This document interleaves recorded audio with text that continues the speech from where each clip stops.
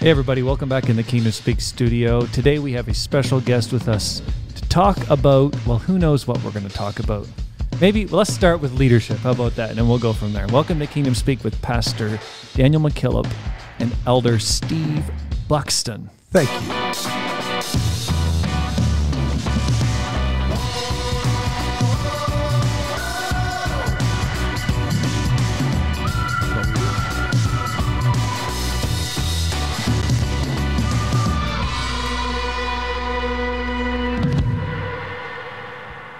A cool thing happened last week when the Kingdom Speak episode dropped, Yes. and you shot us a text and said you would not believe what Biblos is talking about this weekend. Is that crazy? that was not choreographed, folks. For real. For real, it wasn't. So so Friday morning we recorded what? Tuesday? Yeah, Tuesday. Yes, Tuesday. Yeah, Tuesday. We recorded Tuesday. Biblos dropped Thursday. Yep.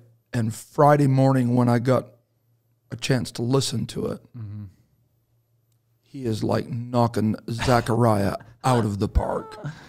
And that is literally what we were talking about.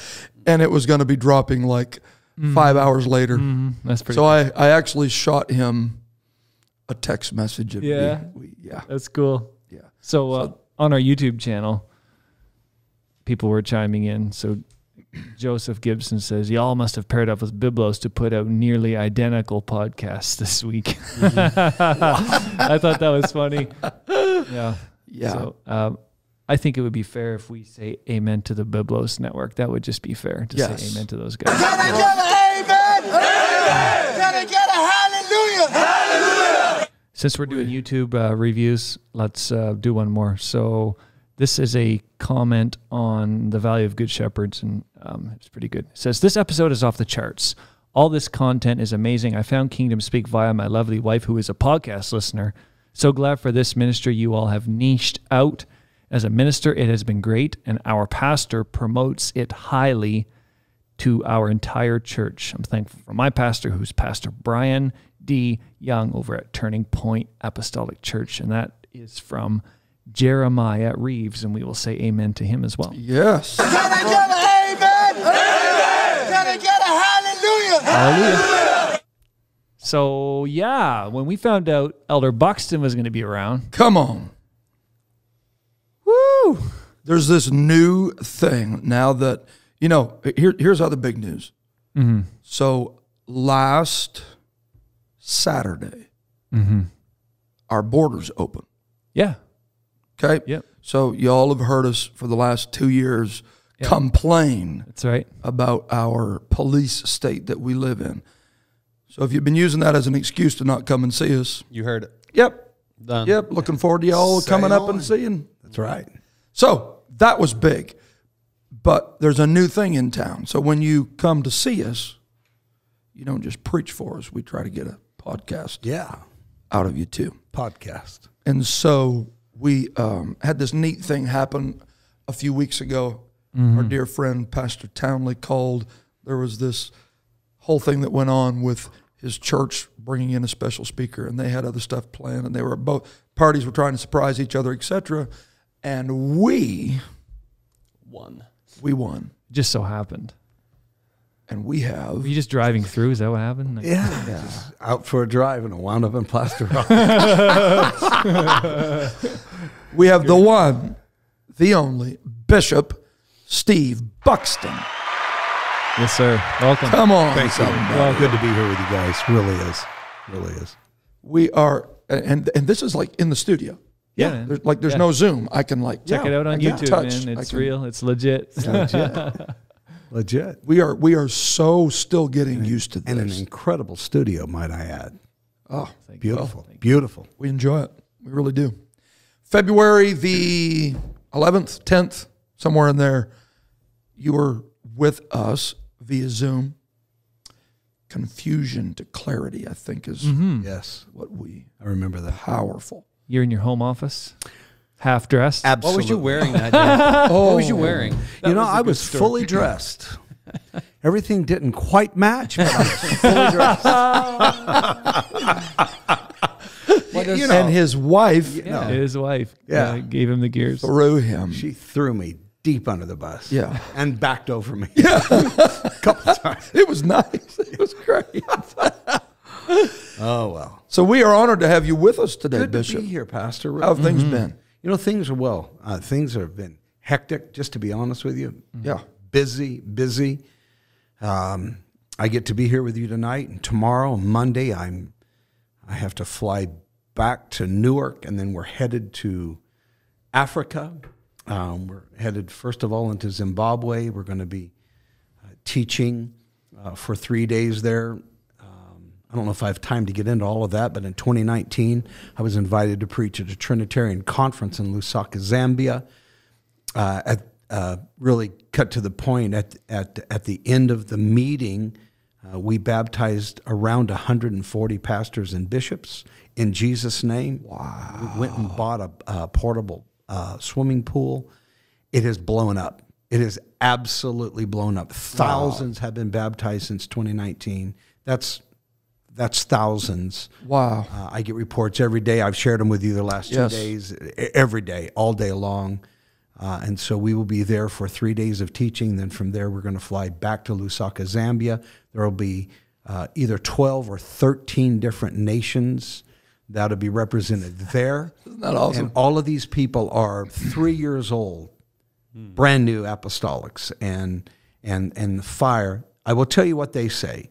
They say the apostolic message is a bushfire in Africa. So we will be there. From there, I, I fly through Dubai to Manila. We'll be dedicating our new headquarters church the 23rd of October. From there, I fly to Seoul, Korea, and I'll be meeting a group of pastors that we've been teaching the last two years via Zoom.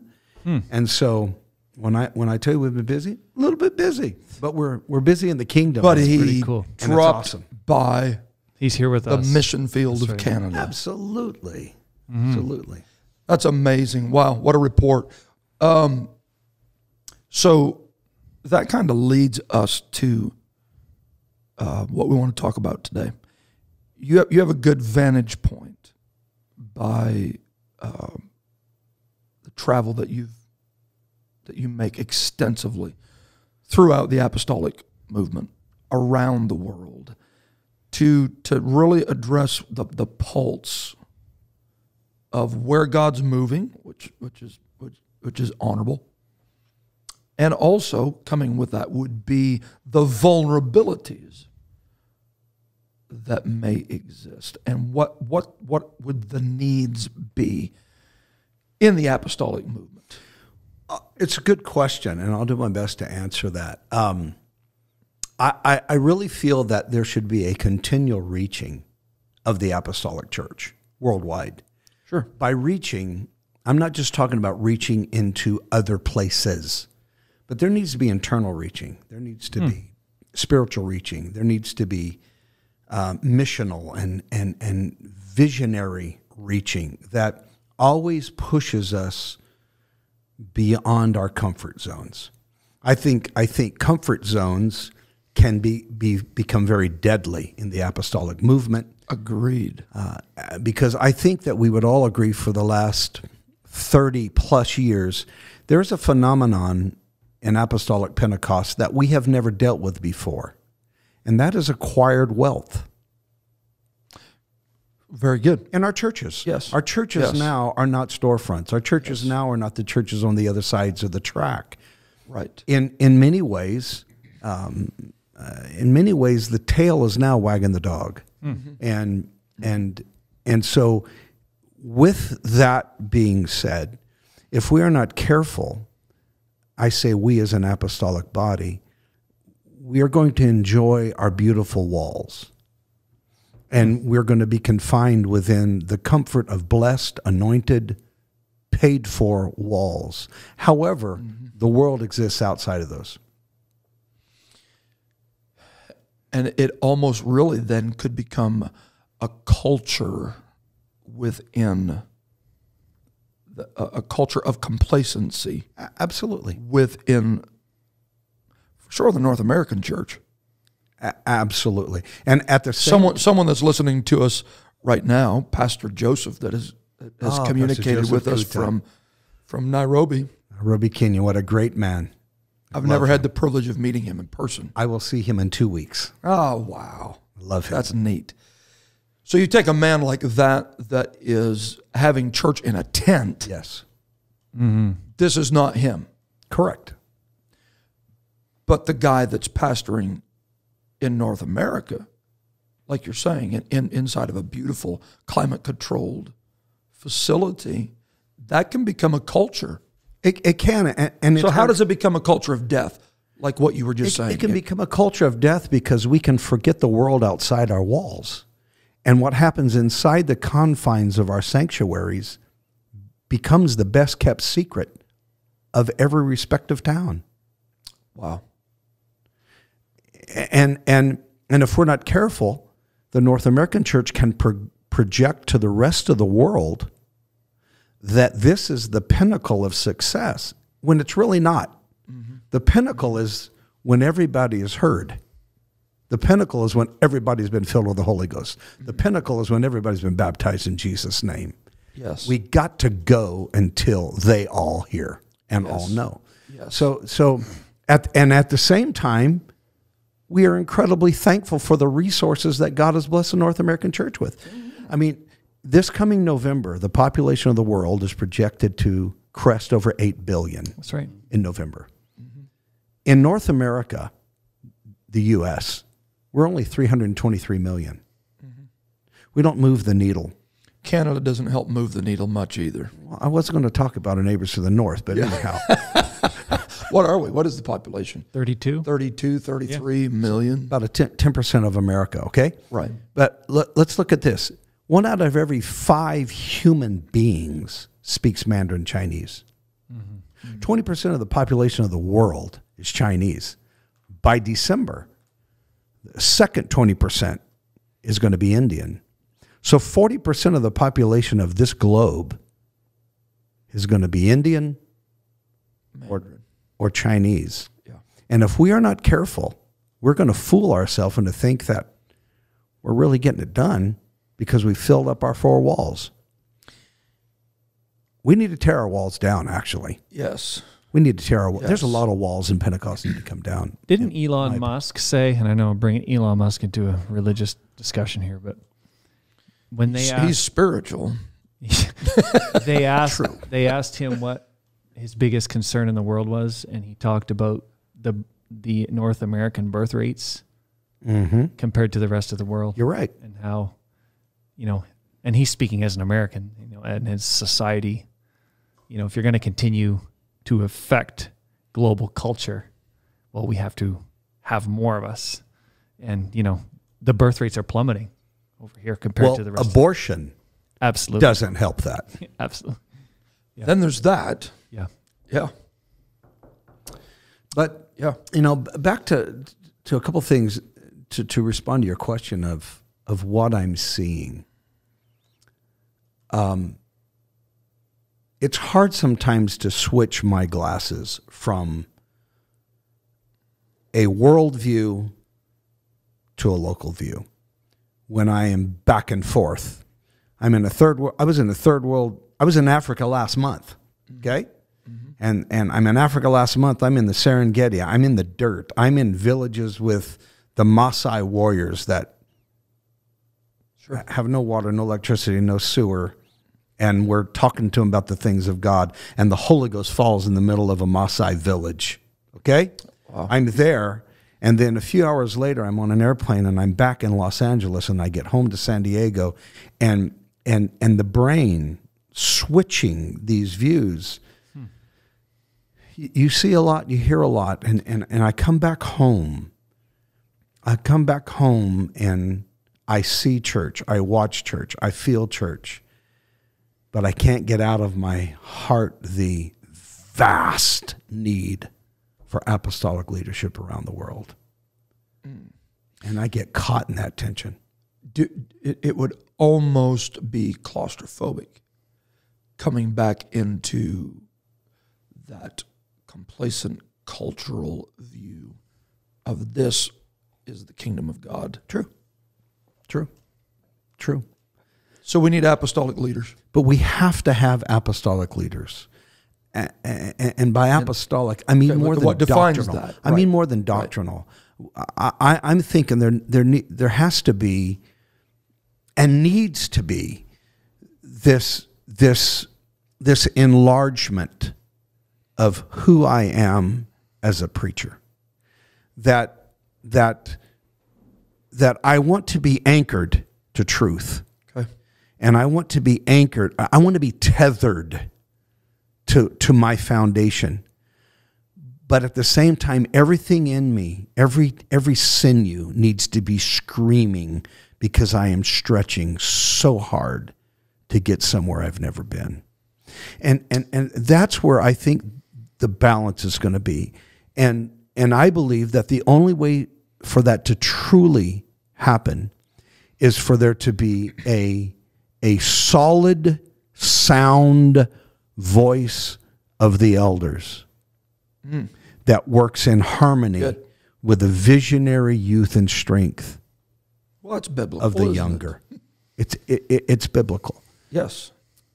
It's very biblical. Your biblical. young men shall, They shall. and your old men shall. They, they they shall. And those should never be competing with each other, should they? Never. But then we fall into the cultural, we fall into the cultural morass, especially the North American culture, that really doesn't place great value on elders. Mm-hmm. Hmm. Mm-hmm. Whereas in other parts of the world, Yeah, absolutely. they value the voice of the elder. Sure. And so it- Sure. it's not an individual thing or just a personal thing, but I think culturally, it's something that we need to understand that that the health of a church and the health of a movement is going to be balanced by the voice of an elder and the vision and strength of a younger. Hmm. And so when I look into the Word of God, it's, it's amazing to me. The only time success was ever, the word success ever shows up in the Bible Joshua. was Joshua Sure. and mm-hmm. Moses. Sure. Mm-hmm. The only time. Sure. And- And, he puts a qualifier in there. Good success. Good success. and, and that comes from transition. Because there cannot be success without a successor. There has to be. Oh, that's good. And so somewhere in in this in the in the church at large, there needs to be a working together, not a pitting of, but a working together of the elder and the younger.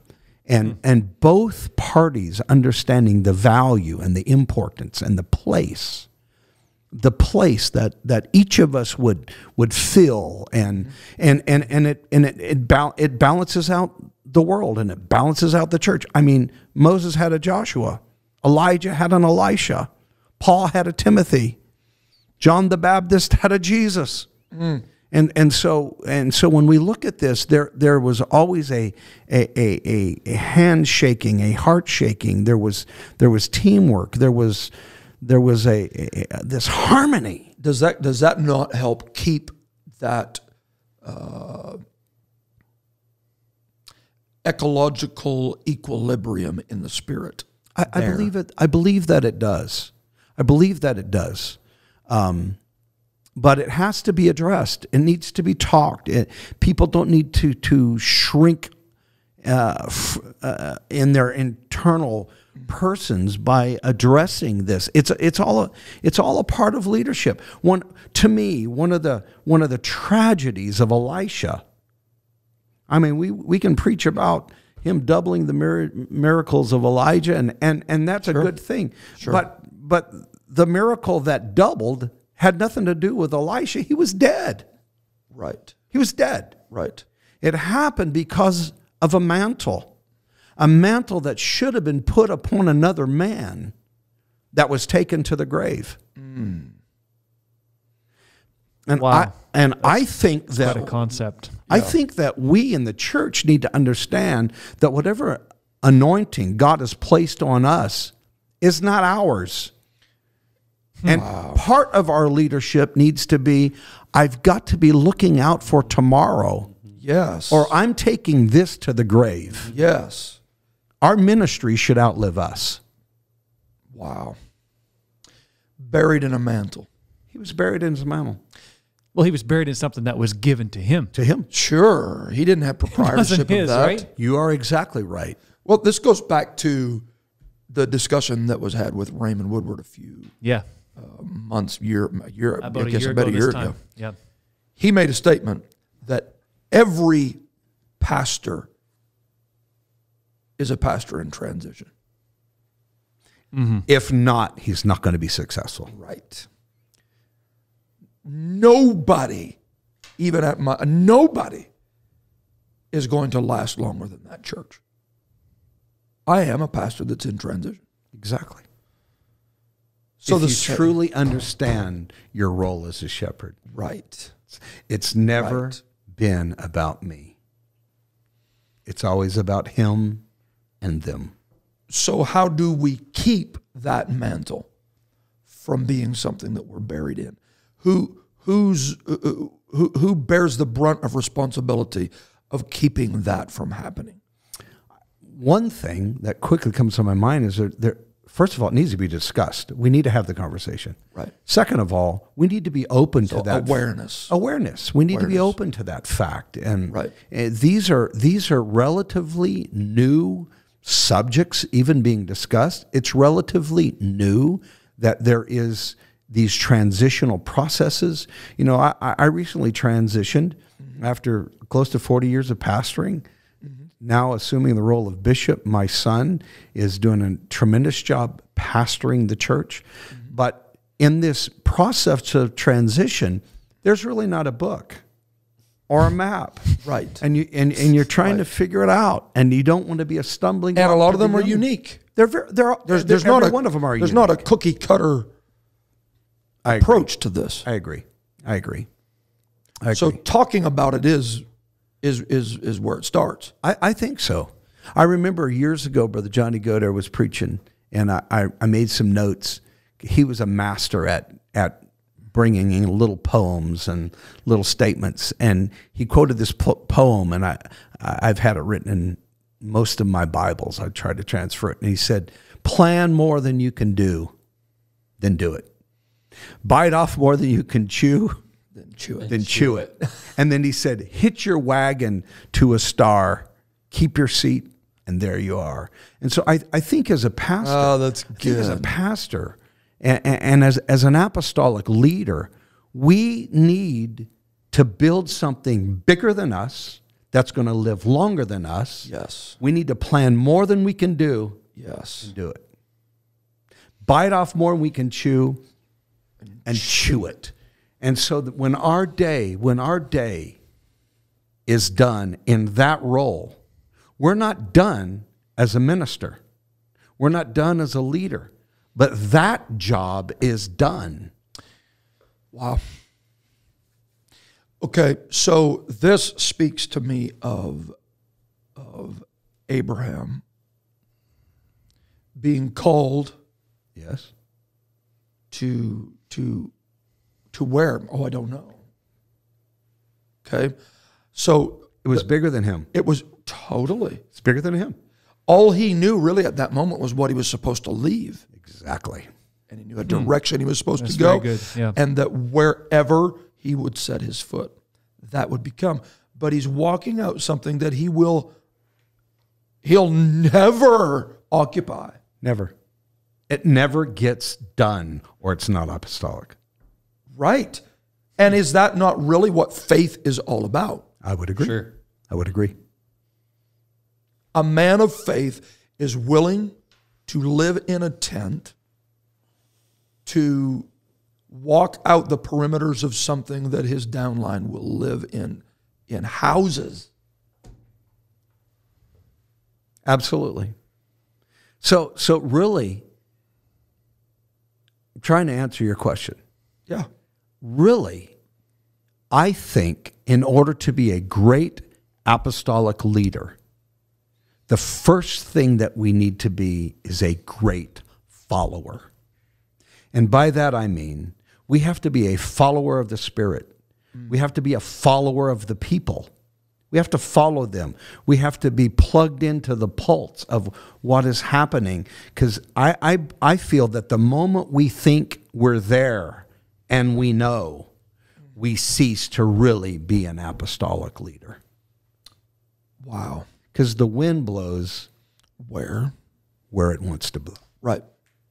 Hmm. And so I think the the great prerequisite right. it's not degrees that we hang on walls. It's not it's not the accumulation of books that we stack on a shelf. It's if I'm going to really be a leader, I first of all have to be a powerful follower. Do you mean like uh, social media followers? Is that what you're talking about? Uh, exactly not. Oh, I thought I had you for a Yeah. second. I'm like, Hey. wow, I said something good. And I liked it. I follow a lot of people. I like I like it. You, know, yeah, you like it, but Thumbs see- up. Yeah, thumbs up. And what does that mean? So what does like mean? What does follow mean? And what does friend mean anymore? I'm talking about. You know what I'm talking about. You're about. taking shots at us right now. I'm talking that real spiritual following. yeah. Following on our face, following on our knees, following in Well, prayer. can you can you be a leader if you're not a follower? I mean, Paul said, I think you can be a leader, but I don't think you can be an apostolic leader. "Ah, very good, very good." Which, in really, in essence, is what I was saying. Follow me as, As I. As I. the moment that he stopped following is the moment that he could no longer. And really, this can break down even into the family unit, can it? Totally. I'm the husband here. I'm the as you follow Christ. Right. Totally. Thousand percent. I'm not saying that I've mastered this by any stretch. No, I'm for trying. sure, for I'm sure. trying. Mm-hmm. But but the more that I look at apostolic leadership, the more that it drives me on into the carpet. Wow. When I realize I don't want to build my own vehicle of leadership because then it's not apostolic. I want to be led by the Spirit. Do, let, let me ask you this. Because I've noticed this, and you have a lot. And I'm, I'm not, if, if this if this gets us down a rabbit trail that, that eats up too much time, we'll come back. You look at mission work, and you see pastors who are willing to walk away from works that they had started, go start again. Um, and I am in by no means trying to introduce some transientness to the North American way of doing business, church business. But that being said, if we're not careful, do we as pastors tie our identity again in North America to the churches that we pastor rather than tying them to the kingdom? Let's great question. Let's look at the New Testament model. There's nothing in the New Testament that points a light at how big a church any one man built. Okay. But there is much to be said about men who reproduce themselves in other men. Very good. And if we're not careful, we're going to start comparing ourselves by ourselves. And that's not And it's not healthy. It's not mm. good. And it's not, Not safe. Good. It's just not good. I, I, I, I think that, that God has blessed the North American church to be a blessing. Sure. And to be a mm-hmm. blessor. Mm-hmm. Sure. And that's going to happen when they start looking outside their walls and say, God, you have blessed me. Not that I can put another layer of, of, of gold gilding sure. on my pew. Well, okay, and by extension of this, and this is something that I have often pondered, is if a man's ministry is tied to a church, then if he no longer, mm-hmm. like yourself, is senior pastor of said church, he feels like he's lost his identity. Correct. Maybe So- his, maybe his purpose. Yes. Or purpose. so Or then- value. Or Right. value. Yes. Okay. And then by extension, real quickly, by extension, that affects that church because maybe he stays longer than he should. True. Because the fear of being a nobody forces him into an identity that in God's eyes is no longer him. He's no longer there. But without that church, he's nothing. So I, I'm- I'm going to, I'm going to stay on. when the reality is, in the context of what you're saying, there's continued value for the voice of that elder. Exactly. And so when, when he continues to stay, he's not staying for the right reason. It's now it's about him and not them. When I stepped away from pastoring Hilltop Tabernacle, I'm at my prime. I'm in my early 60s. I'm capable of doing the job. God's blessed. The church is doing great. But I realized it's not fair to them for me to be, for me to try to juggle everything that's happening outside our church borders around the world. And so I had to make a decision that's the hardest decision I've ever made in my life, mm-hmm. but I made it because of them. And we are the recipient of the same thing here. Mm-hmm. Bishop done the same thing. Sure did. Yeah. So he gets in a motorhome and begins going through North America. He didn't he didn't do it as globally as what you did, but begins going to little home missions churches and helping them. And what And, a gift. that absolutely. What a gift. Absolutely. So his identity was not lost. And the church here has continued, thankfully, by the grace of God, to grow, thrive. And the overall kingdom of God has, has, has felt the impact as well. And so that's what I mean by continuing to be apostolic in leadership. I don't. Uh, if a man leaves and a church dies, there was something wrong in the foundation Boy, that's good. of that church. It should never be. If it's built on his personality, when he's gone, the church suffers. If it's built just on his preaching and he's gone and the church suffers, something's wrong. It's not his church. It's God's church. right. It's God's church. Right. So th- there should be a successor in the wings. My opinion. How, um, without getting too personal, how long did you know? When did the when did God begin dealing with you and and and preparing you for transition? I knew for a while it was coming, because, and I will tell you how I knew it.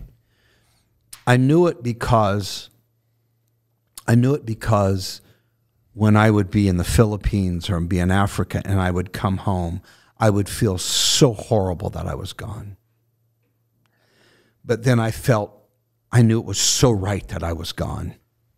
And it's how do I balance this? How do I justify this? The saints that I had the privilege of pastoring were so accommodating and understanding. And through the years, hundreds traveled with us, hundreds through the years. Um, there never really was an issue, but I didn't want it to become an issue. And then at the same time, I realized I began to ask. I'll tell you a question I began to ask myself. I began to ask myself when I'm 65 years old, would I want to go hear me? Would I want to go sit in that church? Would I want to bring my young neighbors to the church and say, That's my pastor? That didn't know what a podcast was? I mean, I'm serious. I started asking these questions. And I, and I thought, you know, So really, then it wasn't it wasn't all some super spiritual thing. You looked at the nuts and bolts of leadership and began to ask the hard questions. I- did, but I want to say it was coupled with some real spiritual sure. spiritual moments. Absolutely. Spiritual moments and and you know, it had never been something my son and I had discussed. It was never a carrot I put on a stick. Uh, he was doing a great job in Carson City. Proud of what he's doing and, and, and done and on and on and on. But there came a moment that I realized I realized that if I truly love this church like I say I love this church, then they deserve the best. And the best, the best is going to be a young man full of vision, full of strength. And while I still have strength in my body, I can continue what God's trying to help me build around the world. So I had to make the decision. And to, I, I'm going to make this assumption that also a young man coming that you have that voice of an elder in his life? You would pray it's always that way. You would pray it's always that way. So really, at that point in in Hilltop's history, it wasn't so much although the role that you played in that transitioned out and and your son took Yes. it. You're really adding another dimension of spiritual uh, vision That is my passion to the mix. and heartbeat. Passion and heartbeat. Yes, sir. Wow. Yes, sir. You don't want to leave when the, they're wanting you to leave. That's truth. Yeah, that's like a that's like a good band, right? They always leave you wanting them to play one more song. Yeah, Yeah. you know, and, Yeah. and and you know, it's I didn't retire, I didn't resign. I just transitioned. I'm no longer the pastor, mm-hmm. you know, and it, it's I, I'm I'm as busy right now as I've ever been. I yeah. I'm busy. I'm Yeah. busy. I'm busy in the kingdom, but still, my heart, my heart's at 346 L Street. Right. But I'm thankful for the vision that's there and the leadership that's there. Wow. Hmm. All of this to make sure that a mantle doesn't get buried. You can't bury it. You can't bury it. How many more miracles could have happened in, Eli- in Elisha's life had he put it on another man?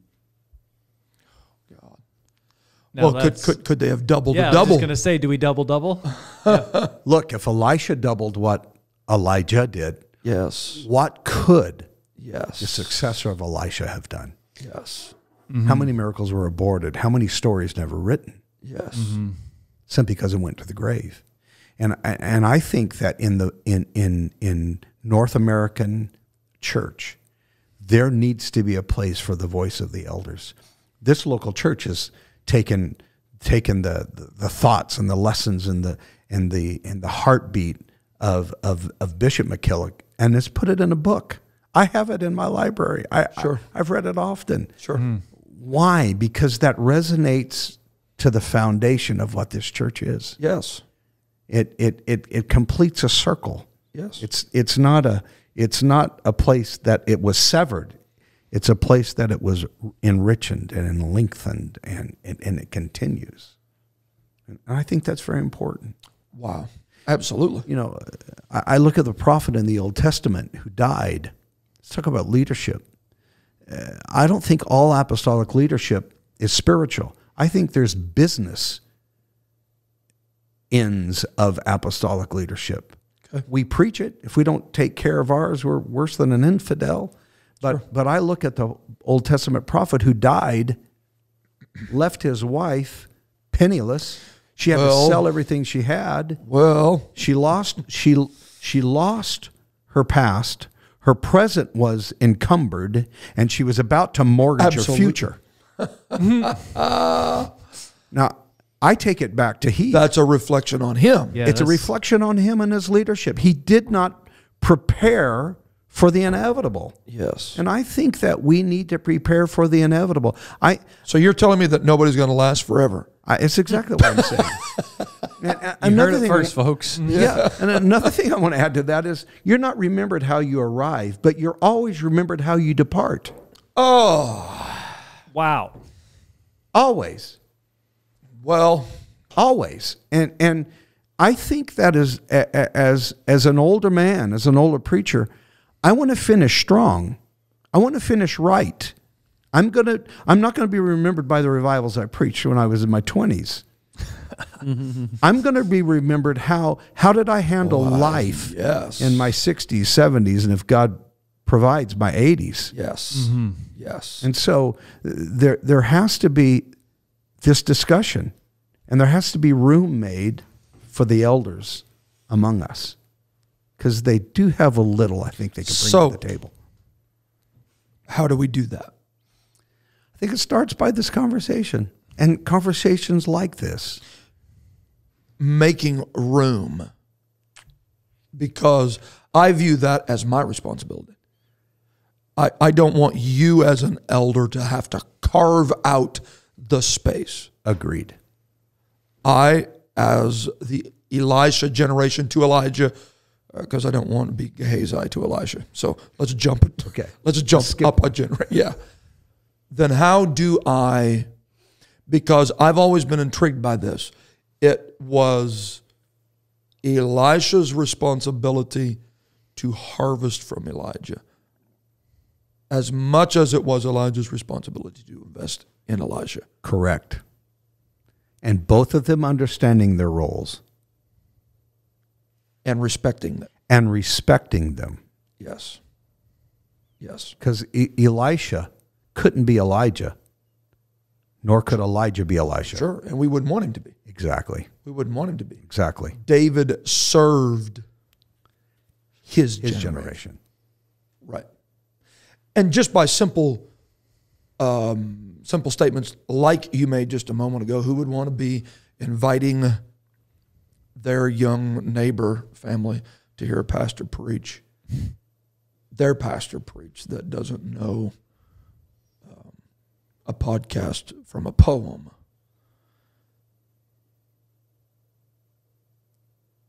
You, you that's the very literal part of pastoring your generation. It, it, it exactly is. And, and, Case in point. and, and, and here's the thing.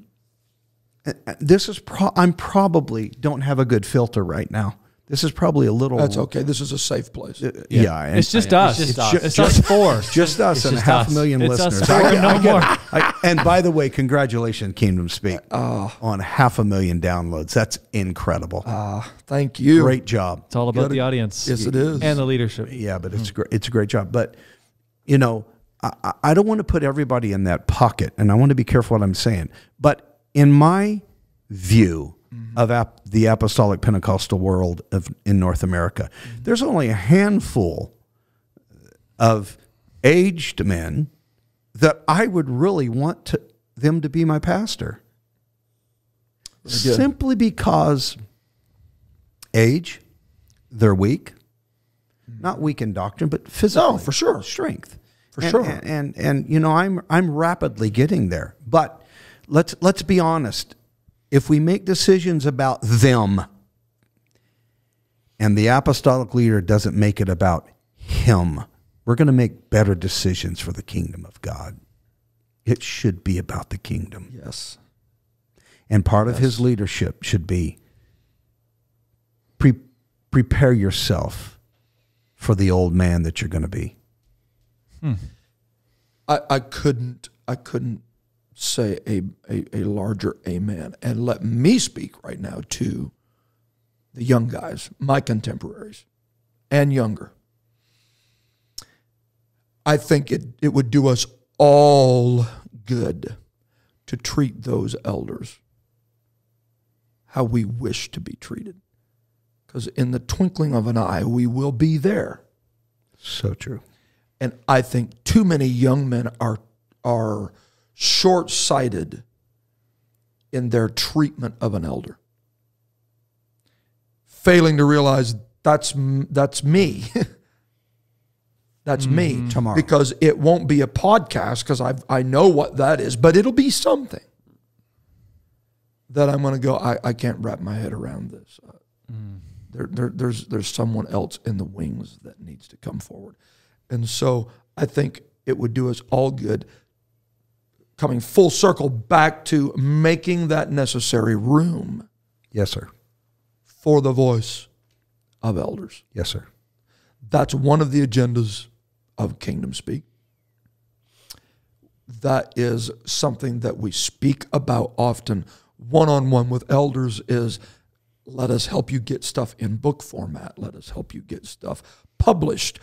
We want to harvest Yes. as much of that valuable truth that's in you before we lose you. Or for, for the sake Exactly. of today's application, we don't want you to be buried in that mantle. Correct. Correct. Nor do I want to take it to the grave. I don't want to take it to the grave. Right. I don't. So when a man like you can meet a man like me, be- be- let's drop personalities out of this. Okay. Meaning a man that doesn't want to be buried in his mantle meets a younger man who doesn't want him to be buried in his mantle. Is it possible for us to keep that from happening? Yeah, it's very possible. exceedingly. I mean, that's what we're trying That's to. what we're doing. Right. I mean, and, and I want to say this in my travels, the Apostolic Church at large has had ultimate respect for the elders. So there's not there's not a wound I'm licking. Sure. there's not a drum I'm beating. It's just it's just an observation and the church is shifting. The church is shifting. 20, 30 years ago, the elders died in their pulpits. There's, it's, there's a new paradigm. right. They're not. Right. They're not dying in their pulpits. They're, they're saying, I don't want to do that to the church. Right. Right. I want to put this mantle on a young man and Right. run with it. Right. and and, and so you know uh, I, I just I just think it's it's worthy of the discussion and this is this is incredible tonight that that we're even sitting around a table talking about this but For sure. I think this is a, a very necessary conversation for the church that that let's transition a, as we grow and as we move let's let's understand that a man transitioning and I think men that are thinking about transitioning they need they need they need to have some kind of a roadmap and they need to bury some of their fears and understand th- there is value and worth in their ministry and there's a much larger world than North America. Yeah. Wow. That's yes. Yes. There's there's almost 8 billion of us on this globe. yes. There's a need for their ministry and a need for their voice and and um, So you're saying, you know, not only transition your position, but transition your mindset out of a local pastor. You transition your mindset to a global, absolutely right? Where can I invest? Yeah. absolutely I might not be preaching here every Sunday anymore, but where in the world can I help out? Think of all the brain power that sits on pews. Think of all the skills and Bible knowledge and mm-hmm. experience that some men probably feel like I have no place. Right. I don't belong. I'm not pastoring. Pastoring should not be the pinnacle of apostolic leadership. Who said that it is? Exactly right. Nobody has said it is, but culturally, we have said it is. Oh yes. Right. we do, do you think here, here's a loaded question so i'll give you one opportunity to dodge it do you think because in north america by and large the finances run through the fingers of senior pastors. Do you think that has led to the elevation within the movement of, of the role of the pastor? I understand the role of the pastor. We just done an episode on this. In the local church is that, that's what it is okay? I'm not vying or trying to disturb that theological paradigm. But in a ministry discussion of the fivefold ministry that is gifted to the church, do you think because the role of pastor really does have the balance of, of, of, of the finances of the kingdom? Absolutely. I won't dodge that. Absolutely, it does. So now, now it's not just an identity thing; it's also a control thing. And a power thing. Yes. And and it's unavoidable. In Yeah, I'm not sense. saying that's a wrong thing, Yeah, I'm not saying that's a wrong thing. It's it's an unavoidable but thing. I think it's something we need to talk about. but it's something that needs to be discussed, and it's something that needs to be viewed. That hey, hey, hey, wait just a minute. You know, yesterday this wasn't yours. Today it's yours. You need to remember where that came from. Be a steward. Be a steward. Yeah. Be a steward. Remember, it was there before you were. And it better be there after you. Thank you, oh, yeah. And then some. Yeah. and then some. Yeah. Absolutely.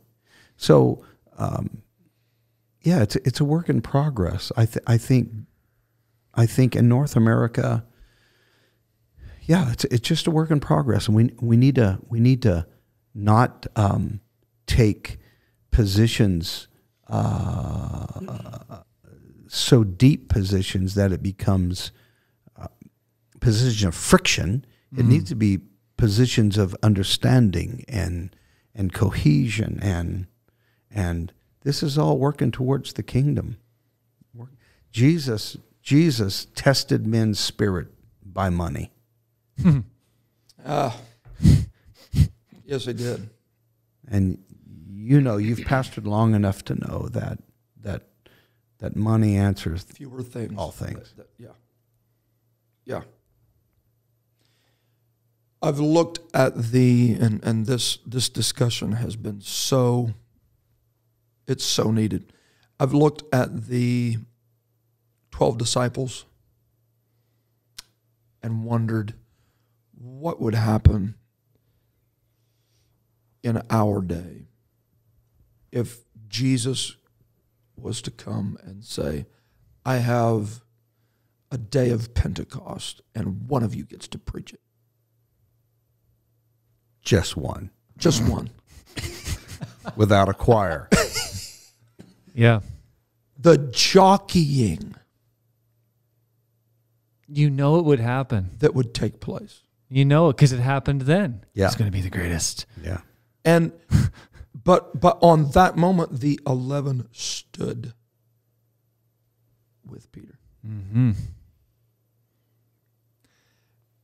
and, and I just I you you feel that when certain churches become available, and it just becomes this boiling cauldron of uh, who's going to get the opportunity. Oh yeah.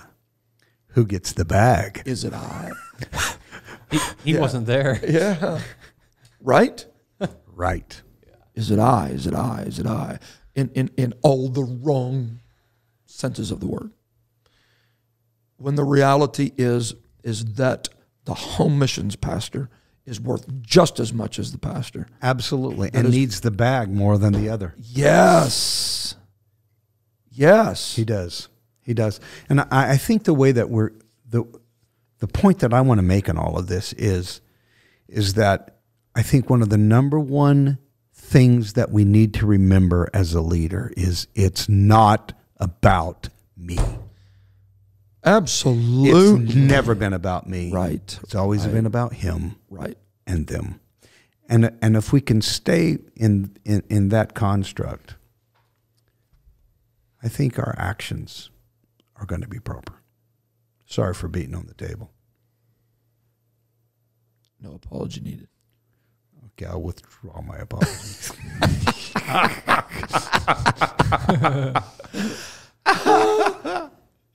Just maybe, just just just maybe our decisions will be a bit more kingdom centered than than me centric. I, pr- I pray they are. I pray they are with me. It has to start with me. Has to start with me because I can't affect you if I messed up. I, it's got to start with me, and I've got to keep him first. Yeah. And and I I can see this bishop with so it's important you need to hang around men like me. And it's important that I hang around men like you. I would agree. Again, I'm I'm not talking personalities at this point. I'm talking generations Right. Sure. Because there's something about me bringing you to the church that I am now pastoring for the transitionary period of time that I'm responsible for it to keep that depth there. I'm not just talking about the depth of what is preached. I'm talking about the bench staying Gotcha. deep enough, Gotcha. right? Right. and yet so so that part keeps me rooted in this is my future you're not you're not the past you're the reminder to me of my future but it's also a benefit to you Correct.